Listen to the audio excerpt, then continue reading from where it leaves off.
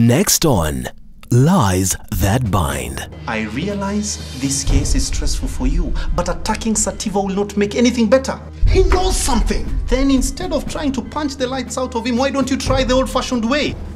What are you talking about? I mean, do your job. You deliberately deviated from the plan against my instructions. It wasn't intentionally. Oh, you knew exactly what you were doing. Stacy. Sir, please listen to me. I'm done listening to you. Hi, sir.